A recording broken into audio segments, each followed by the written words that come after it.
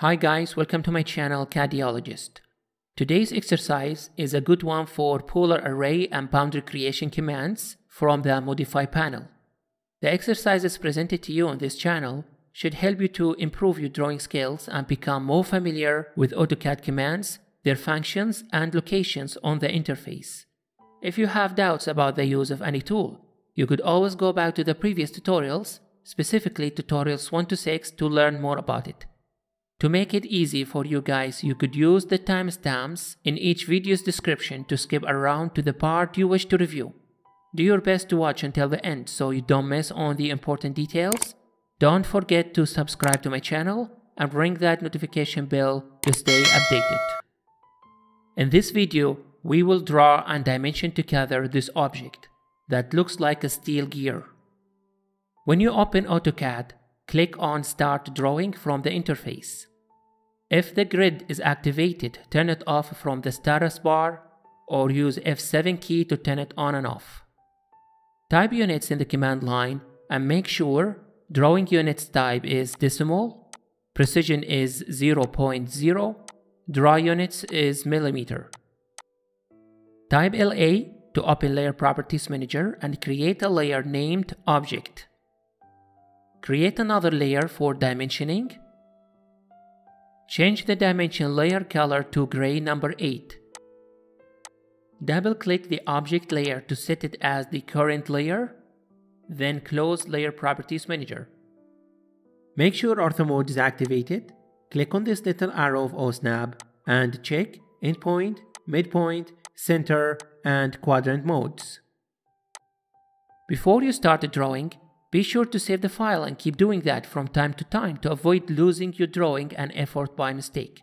If you are saving for the first time, click on Save from the Quick Access toolbar. Choose the file location and type the name. Then click on Save. Click on the Application button, click on Options, Go to Open and Save tab. In the File Safety Precautions, make sure Automatic Save is checked and at every 10 minutes.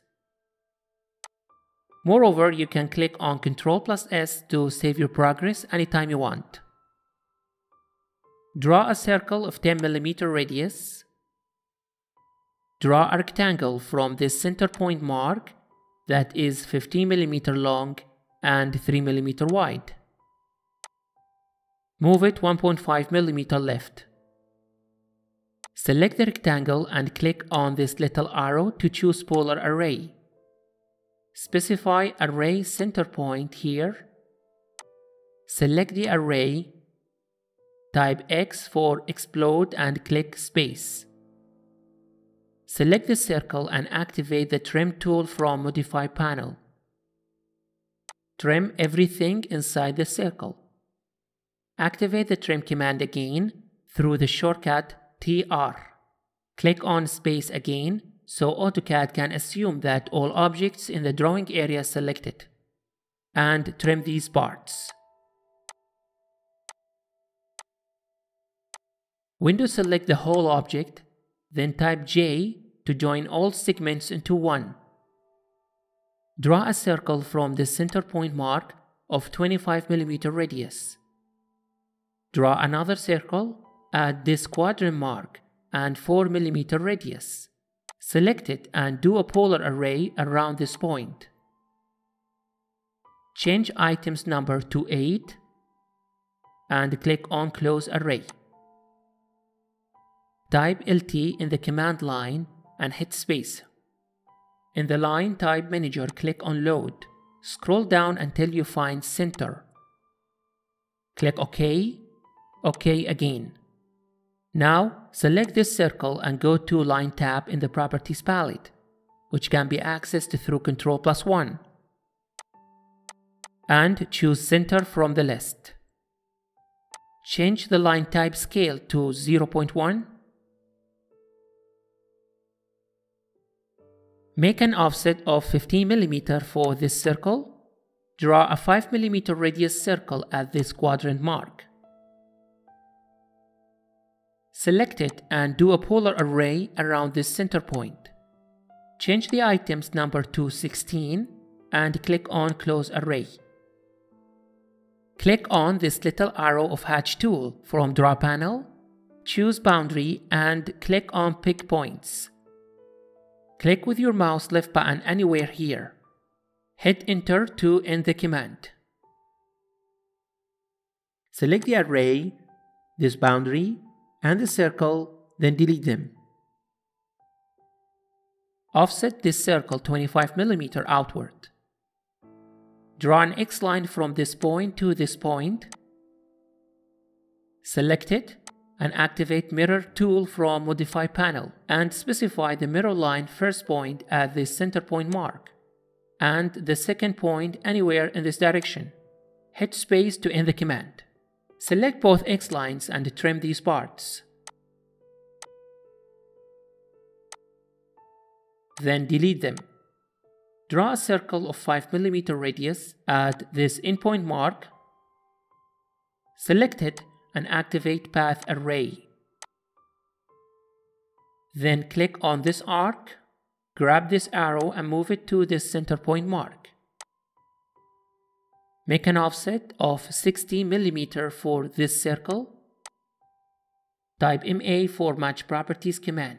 Click on this object as the source and on this object as the destination. Offset this circle 15 mm outward. Draw a 10 mm radius circle at this quadrant mark. Select it and do a polar array around this center point. Change the item's number to 20 and click on Close Array. Select both circles and the array Click on Isolate tab from Status bar and choose Isolate Objects. Type BO for boundary creation and pick the internal point somewhere here and hit enter. Select the array, this circle and this circle, then delete them. Click on Isolate tab again and choose End Object Isolation. Draw an X line from this point to this point and another to this point. Offset the circle 55 mm and 35 mm. Activate boundary creation and pick the internal point somewhere here. Then delete the X lines and circles. Activate fillet command from the modify panel.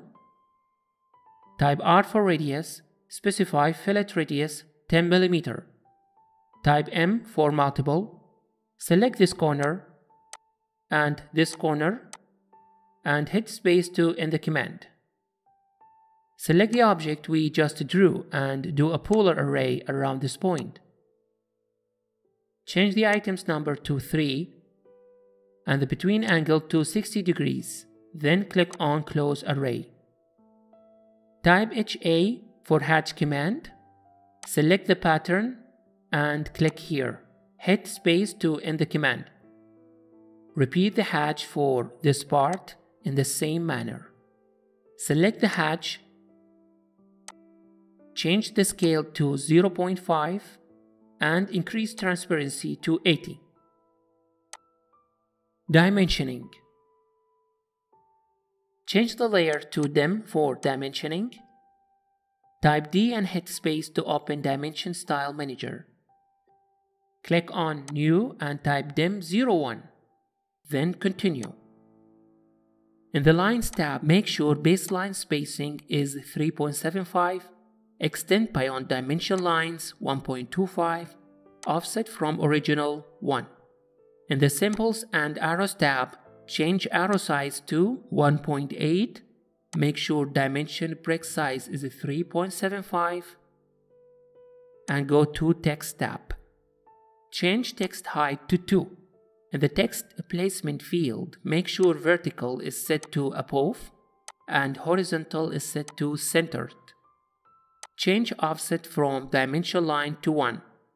In the text alignment field, check aligned with dimension line. In the Fit tab, make sure overall scale is selected and the value is 1. In the primary units, set the precision of linear dimension to 0 and the same for angular dimensions. Click OK, close. Go to Annotate tab. Click on this little arrow and choose Aligned Dimension. Measure the distance from the circle center point to here. Click on this midpoint mark to place the dimension. Select it and go to Properties palette in the Text Alignment field. Change horizontal text position to first extension line and vertical text position to centered. Click space to repeat the align dimension command, since it was the last command executed in AutoCAD, and dimension the rectangle width. Choose radius from the dimension list. Click on this circle to find its radius. Place the dimension somewhere here. Repeat radius command using the shortcut DIMR. Click here to find the radius of the circle we used before to draw this shape. Choose diameter from dimension list. Click on this circle to find its diameter. Place the dimension somewhere here. Repeat diameter command using the shortcut DIMD and measure this circle diameter. I will use the radius and diameter dimension commands to measure all remaining circles and arcs of the object and you guys could follow me doing the same.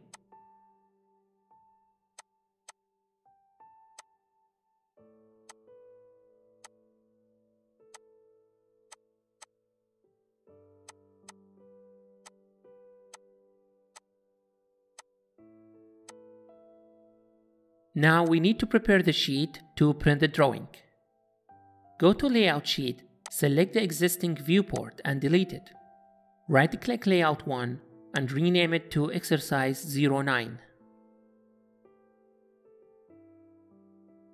Right-click Exercise 09 and go to Page Setup Manager, where we can set the sheet size, orientation, quality, and many other things.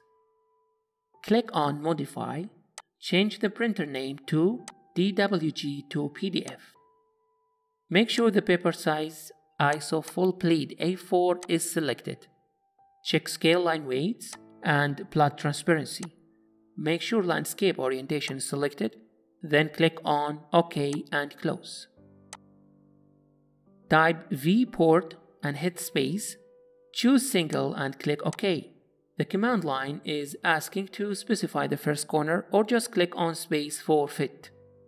If you go to Layer Properties Manager, you can see a layer created automatically and named Defpoints. It was generated when the first dimension was created in the drawing. This layer is unprintable and stores information about definition points of dimensions. It's usually used for the viewports and for any detail in the drawing you don't want to print. So select the viewport and go to properties, then change its layer to Defpoints. Now to print the drawing, we need to insert the title block we created together in tutorial 8 of this course. Remember, title block is a template for the sheet you want to print, and it involves imperative information to identify the drawing. So I will open exercise 01 that we did in tutorial 8 and copy the title block from there. Select the title block and its content. Type CO and select copy paste. Specify the paste point as mentioned in the command line. Click on this mark and go to exercise 09. Click on Ctrl plus V for paste command and place the title block at this endpoint mark. Select the viewport and adjust the boundaries to be inside the title block. Click on Scale from the status bar and check 1 to 1. Double click inside the viewport, then click and hold the mouse scroll wheel to adjust the drawing location. If the scale is changed while moving, you could simply adjust it back as we did before. Click on the lock sign to lock the viewport and prevent any changes for the scale. If the title block includes a logo and for some reason the logo disappears when you copy the title block from one drawing to another, we can help AutoCAD to locate the logo and resolve this issue by using the xref command. This is my logo and the status shows that it's not found. Click it twice, locate your logo, and click on Open.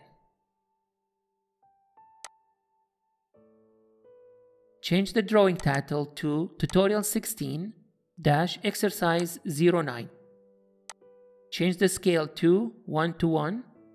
Change the date and the drawing number to YT dash CAD dash TT16 dash EX dash 009. Click on Ctrl plus P to open plot setting. If this window pops up, just click on Escape button. Click on Preview to check out the drawing before making the printout. Click on Print. Choose a folder. Type the file name and click on Save. In this tutorial, you practice many tools from the Draw and Modify panels, but mainly it focused on the use of polar array and boundary creation commands. I purposely tried to execute the commands from the ribbon as well as using the shortcuts in order for you guys to be more familiar with the tool's location on the interface. Again, if you want to know more in detail about any tool or command I used during the exercise, I recommend you to watch tutorials 1 to 6. Keep practicing AutoCAD even if you repeat the same exercise several times in order to enhance your drawing skills. And don't let this video end without subscribing to the channel and ring that notification bell to receive more exercises to practice.